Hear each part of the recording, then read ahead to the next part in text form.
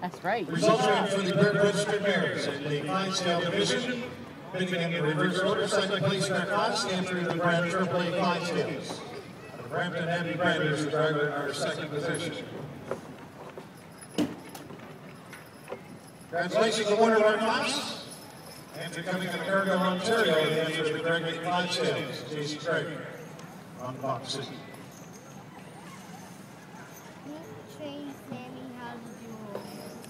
Just over the halfway point.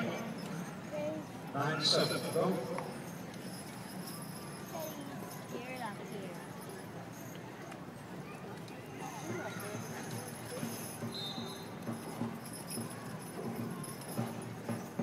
So thanks, round of applause for them there.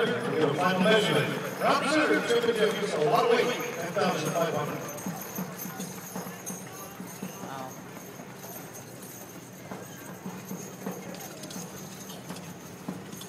I think this one's the winner so far. Yeah. Yeah, Very clean. very clean. The only thing we don't have is that rope. Ten foot, six inches is final measurement. Ten foot, six inches for triple jig. And it is up at ten thousand five hundred pounds.